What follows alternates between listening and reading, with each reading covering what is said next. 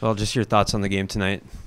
Yeah, I feel like, you know, last night in the first period, you know, we didn't have the best start. So tonight we were really harping on our boys to get that strong start, and we did. And um, made it 2-0, I think, after the first or second, and then just took off from there. So, I mean, the, all, every line played good tonight, every defenseman, and, you know, Hobie stepping in this weekend, so big.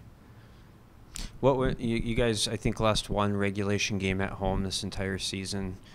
Why do you think you guys had the success here? I mean, it's just the Ralph. The Ralph is amazing. I mean, I if I could pick one rink to play in the rest of my life, I'd want to play here. And um, yeah, like you said, we just had that extra motivation. I feel like playing at home this year. I don't know what it was, um, but yeah, we we dominated at home all year. So. What is it like here when you guys start playing like you guys did tonight and you know last night too, and you know get the ball mm-hmm. rolling in games? For sure, it's exciting. I mean, you know, if we play like that, we'll be hard to stop down the stretch. Um, obviously, I don't. I'm not sure who we play next weekend yet, but um, if we play like that, I'm sure we'll we'll be successful. Hopefully, we got to get in a good week of practice here and then get rolling. This might be Gaber's last game in the building, and he got another one. Just uh, thoughts on him uh, scoring again and getting you guys started tonight? For sure. I mean, uh, he knew coming in it probably is his last game here, um, sadly. But yeah, for him to get that one first goal of the game to get us going is so huge, and you know that's just what he does. He's done that the last four years here. So, what are your thoughts on going to St. Paul?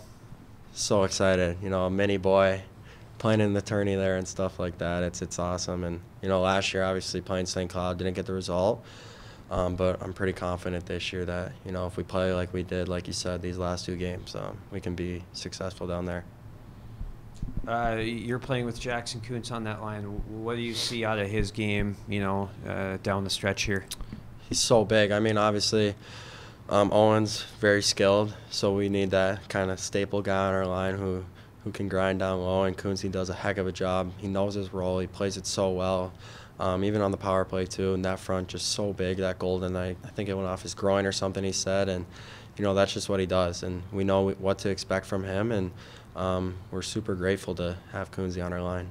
When you're shooting on the power play, do, do you look up and see if he's got that screen set, or how, how what's what are you doing as a shooter? Yeah, I, I kind of wait to to get over that midline so I can try to go cross uh, cross ice top left or something. And Kunze does an amazing job. I said it before, just staying in the eyes, tracking the goalie's eyes, and yeah, like you said, I, I wait to see until he's fully in his eyes. But yeah, he's he's pretty much always there. He's so big, so.